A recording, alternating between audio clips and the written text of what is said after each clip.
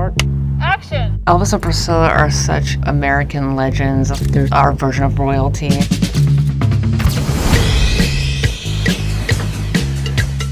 When I read Priscilla's memoir, I was just struck with what an unusual, wild ride her life has been. It's a long hmm. story. We know so much about Elvis, and It was really important to me to show the story through Priscilla's experiences. I've seen all of her movies and her sensitivity, her understanding of women. She puts her heart and soul in it. I would never do this with anyone else. I love to be immersed in someone else's world. 60s Memphis, so Americana, some world that I've never really explored. You could really relate to all the things that she went through, the fun of it, and also the struggles and the isolation.